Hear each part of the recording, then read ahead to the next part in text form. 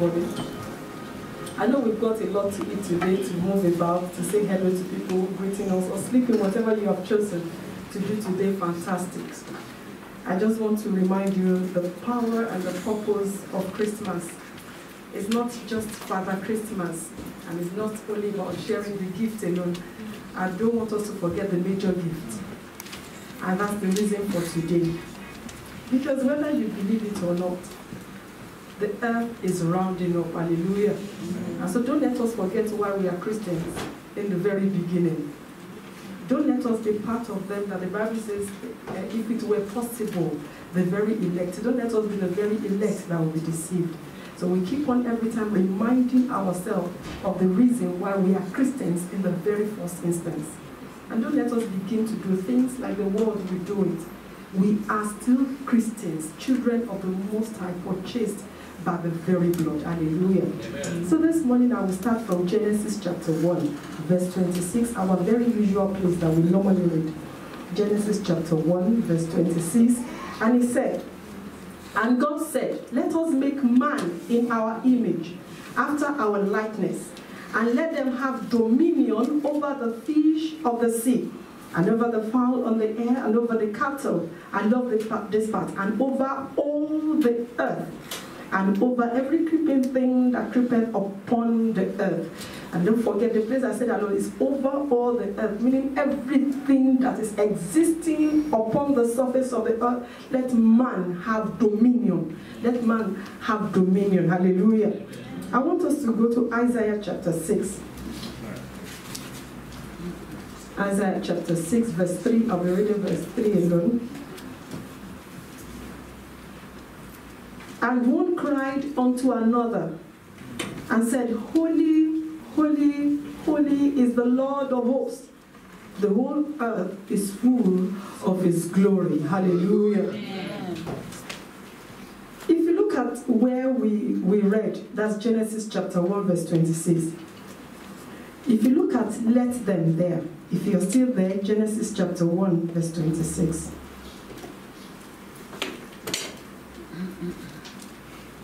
And God said, let them. God did not say, let us. Said, let them. Meaning God took himself out of the situation. I want you to note that. Man became the owner or the ruler of the world. Let them. And let me stay where I am. It, when Nigeria was part of um, the, the Republic or whatever it was of the Queen, Queen wasn't very much every time in Nigeria. But then Nigeria takes charge of Nigeria, whereas affiliation to the greater country. Okay. So you know that it's not the queen that sits as the president in Nigeria then, and not even till now. But then if you still say influence, yes. And that was why we read, it said, the dominion of the Lord, the glory of the Lord extends to the earth, but man actually is the one in charge of the earth. I just want to clarify that one. A human dominates the world. And one of the things peculiar to human being is that we have a spirit and we have a body. Hallelujah. So let them means man has the legal right to dominate the world. If anyone has to function legally on the earth, he must also have a body. And that's the peculiarity of the world. You just must have a body before you can be a human before you can say you are living on the earth. Hallelujah. Amen. I just want to clarify that. I'm, I'm trying to, I can, I'm going to pick pieces by pieces together. I just believe that God will give you understanding of Christmas. Hallelujah. So, so man must have, before you can come to the surface of the earth or live on this earth, you must have a body. So you can't come as a spirit and dwell here. And I would just want to ask how many of you have seen any spirit this morning? None, but have you seen any man, woman, being any speech, anything living on the earth? Some of us are fish, even dead or alive, chicken dead or alive, but they have body, hallelujah. So you can see that one, okay. I'm clarifying that one. So for anyone to exist on, on this earth, it needs a body. So let's go back to the beginning. The very reason why Lucifer has to go to the serpent to take a body before existing on the earth. That was when he went to the serpent. You want to wonder, why did he go to the serpent? Why didn't it just come like a day? And then the woman with you, some something is around, for him to come to the surface, for him to exist, he must have a body. So he went to the serpent, take the body of the serpent before talking to man. Hallelujah. So are you getting the fact that I'm talking about? Okay, fine. So now that he functioned in a body that is not fit for the spirit, God had to cause the serpent for that result because it was serpent that came, not the spirit. Do you get what I mean? The reason is the serpent. The body that came was actually serpent, and that was why the serpent was caused. Hallelujah. Good. So when a man sins, God cannot dwell in an unholy condition. So God must keep his promise, and the promise was that if you look to Genesis chapter 3, verse 15, you will see the promise of God. Hallelujah. Genesis chapter 3, verse 15. He said, I will put enmity between thee and the woman, and between thy seed and her seed. It shall bruise thy head, and thou shalt bruise his heel. And that God, God, God got that from Satan. Said, Ah, for what you have done. Now, for something to happen, I'm going to create a difference. You will not understand yourselves again. I'm going to, that same woman that you deceived, his seed, something coming out as a body, will also come and defeat you finally. Because what you have simply done is you have come to take authority out of the hand of man. Remember, take dominion, take charge, everything. He took it out of man by that same virtue. And God said, okay, he says, I can't come as a spirit by myself. I will also make a child from this woman, this same woman. He will come back and bruise your head. He will take the authority out of your hand. Are you getting what I'm saying? Hallelujah. So, the woman that you use, I'm just trying to interpret, the woman that you use is going to provide me a body. I'm going to live in her and I will make a body that will make me legal to live on earth. I am going to use my legal existence to crush your head legally and take back the authority you took from them. That's just the explanation of what God was saying about the, the children, the son of the woman that will destroy serpent. That was when, why when Jesus rose from death, remember what he said? He said, on authority has now been handed over to me. The very authority that the devil took from the very beginning, I have every right back. So you want to begin to know the reason of the coming of Jesus. And that's why I said we will not forget. It's like we are charging ourselves. He said, I can now crush the head of the devil. That's the meaning. I have the right, the keys to everything on earth. So whatever the devil attempts to do, his head can be crushed now. Hallelujah. Don't quickly forget. The devil knew that from the beginning, and that was why at the, at the coming of Christ, he quickly went with temptation. Oh, I know you have come to take the whole world. Can you bow down and worship me? I will hand over the earth for you. Because he knows the, the reason of the why Jesus came. So he quickly went on temptation to attack him first. I know you are here to come and take everything. I know, but then don't even bother yourself. Just come, worship me. I will hand over the earth to you. And Jesus said, Don't bother. We have a better plan. Hallelujah. Amen. Praise the Lord. Hallelujah. God couldn't break into the world without a body. If not, he would be breaking his words. Eternity means the enmity that we're talking about means unreconcilable differences. God couldn't just come, He needed a vessel. He will need to come and live before you can fight this battle.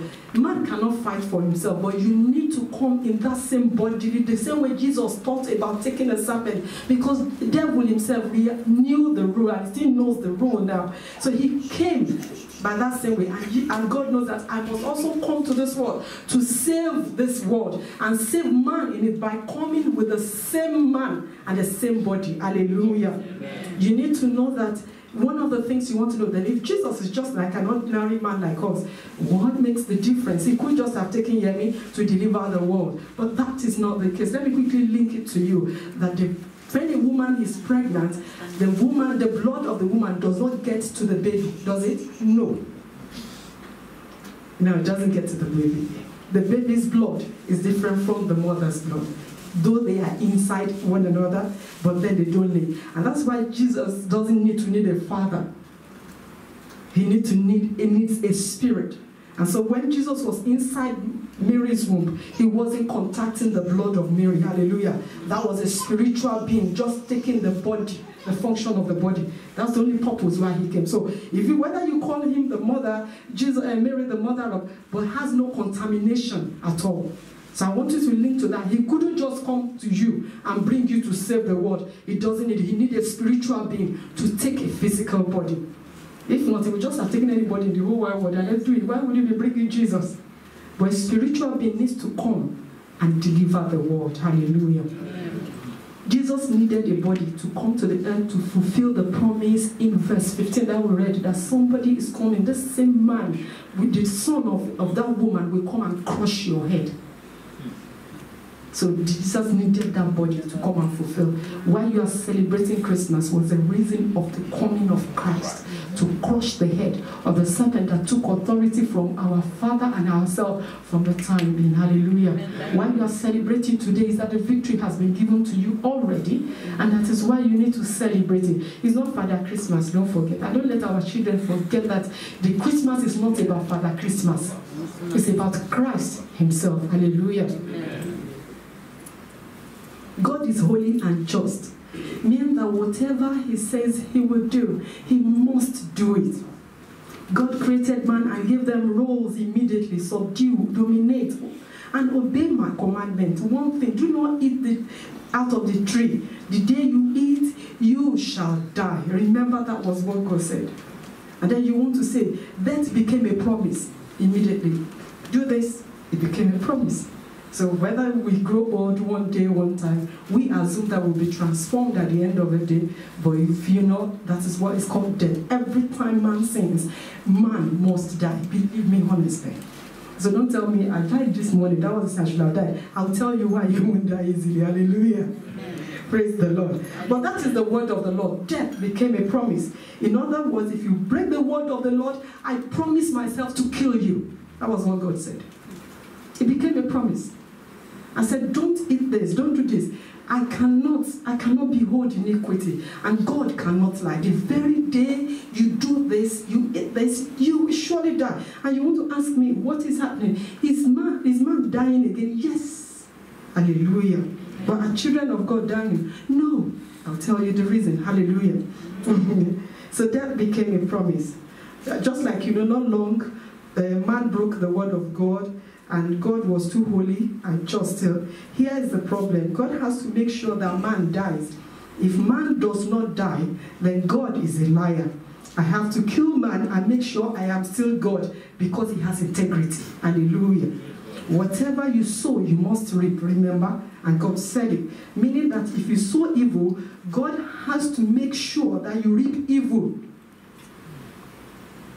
It's the integrity of God. I'm going somewhere. Hallelujah. Yes.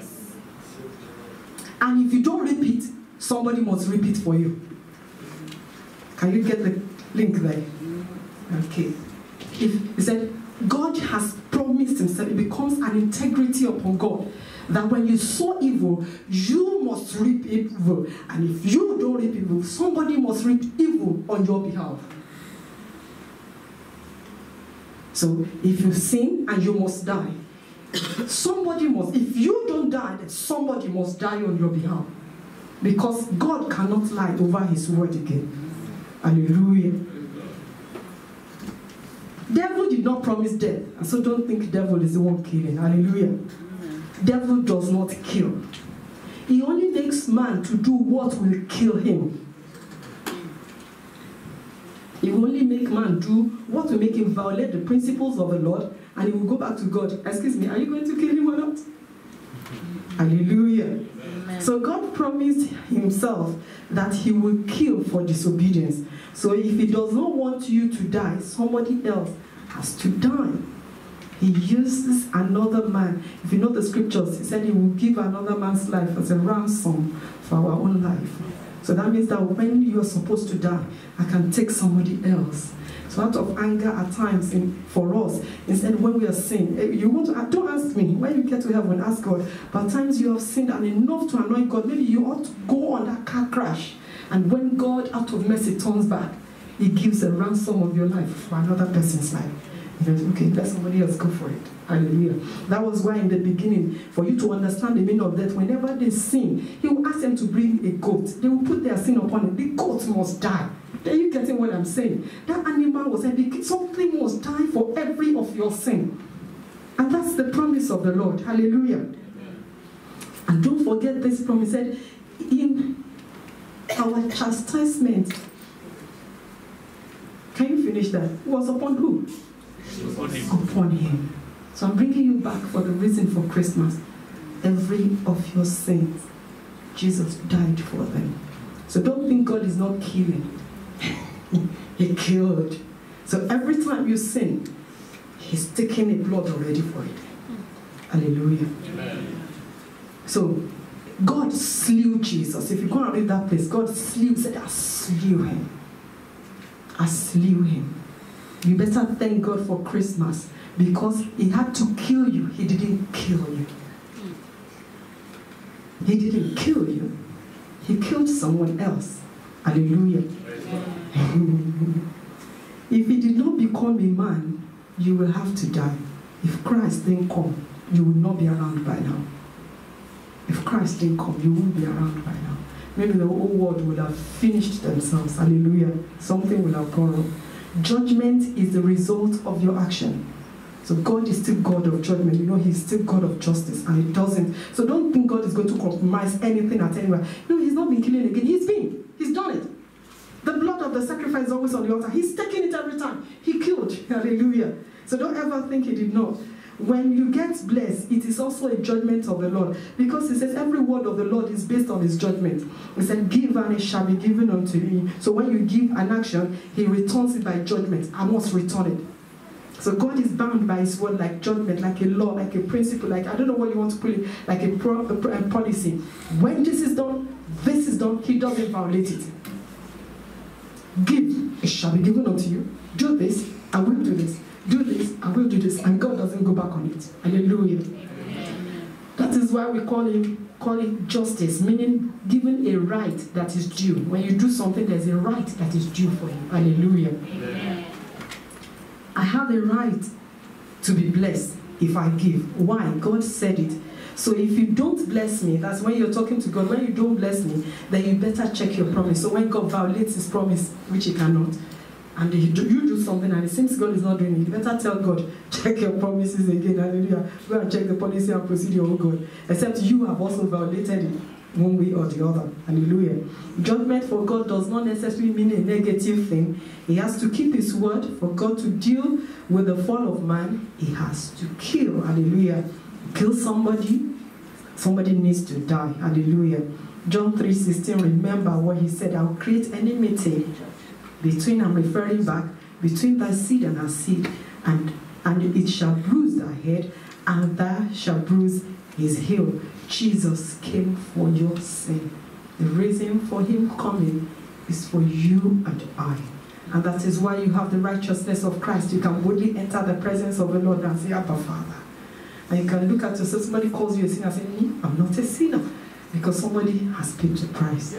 Hallelujah. And don't ever forget it in our glory. You want to wonder what sort of love this is. That God Himself will bring a Godship, a Godson, a God Himself to come low and die and receive, take you away from sin. You want to ask me because many people ask you, why is Jesus God? Why is Jesus God? God Himself entered into man. That's why you see Him as a. The Bible says the Word became flesh and he dwells amongst us. He had to come as a man, and that is why we call him Jesus. So don't ever think God himself made the provision. He is God all by himself. And that's why he's come to save you. Because without his saving grace and salvation, you and I will not be anywhere close. Hallelujah. God loves you. Amen. The most important event that ever happened upon the surface of the earth, let me tell you, is the, the virgin birth, the birth of Jesus Christ. Why? If he never came, if he was never born, there won't be resurrection. There won't be crucifixion. There won't be whatever comes after it. Forgiveness of whatever comes after it will never be if he was never given birth to. There will never be a morning like this. there won't be afterwards. Hallelujah. So I want to thank God that He made it. God made the promise from Genesis. And after a period of time, God fulfilled the promise. He made it eventually. And that's why you and I can smile. Hallelujah. Amen. The wages of sin is death. Every sin you commit and about to commit has been put upon the baby Jesus.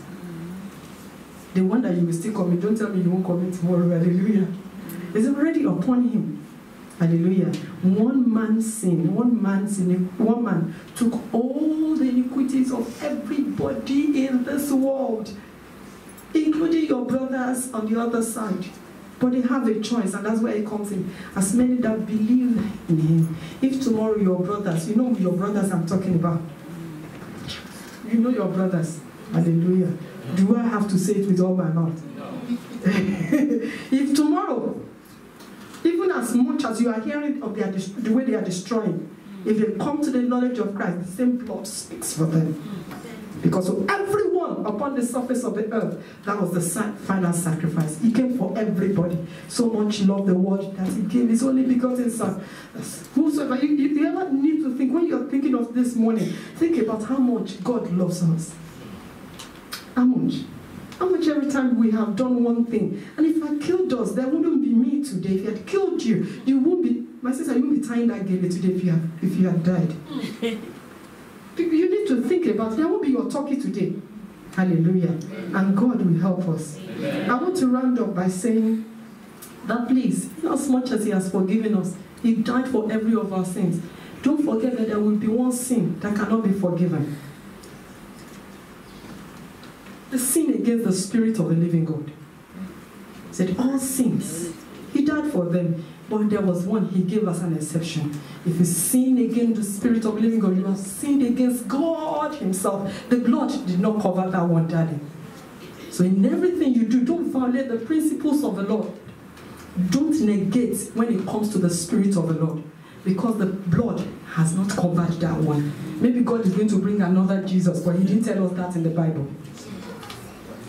So don't sin again. Ask yourself, whatever it deals with the Spirit of living God, don't sin against it. But every other sin, I want you to praise God. You are righteous. Hallelujah. Amen. I want us to read finally Isaiah chapter 9, the one that Pastor read before I came up. Isaiah chapter 9, from verse 6. For unto us this morning, hallelujah, Amen. a child is born. Unto us a son is given and the government shall be upon his shoulder, and his name shall be called Wonderful, Counselor, the Mighty God, the Everlasting Father, the Prince of Peace. Hallelujah. Of the increase of his government and peace, there shall be no end. And the blessings he's given us, there is no end to it. Hallelujah.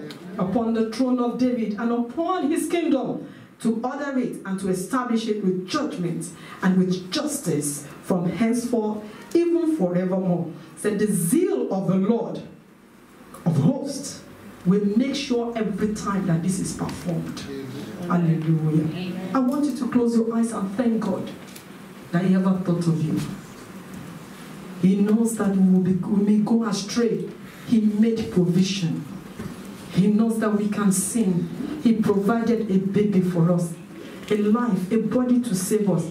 He destroyed what the devil wanted to achieve. He made everything. He reconciled us back to Him. He gave us salvation. He redeemed us with the very blood of His Son. He's a faithful God. That is the reason for Christmas. Hallelujah. We thank God for a day to remember to keep reminding ourselves of the purpose of Christ upon our lives. Hallelujah. And the purpose will never be in vain. Father, we thank you this morning. Thank you for saving us. Thank you for hearing this word. Thank you for reminding us every time the purpose of the coming of Christ. And Daddy, we know that soon and very soon, sooner than we are thinking, Jesus, you are coming back again to come and take your own home. Daddy, we pray this morning, we will not be left out. You will take us at the time of the rapture. You will, you will gather us together. Daddy, in the name of Jesus, we will not miss out. We will not lose it in the name of Jesus. Guide us and guide our way through. Thank you for the journey of life. Blessed be your holy name. Thank you, Father. In Jesus' name we have prayed. Amen. Merry Christmas, everyone.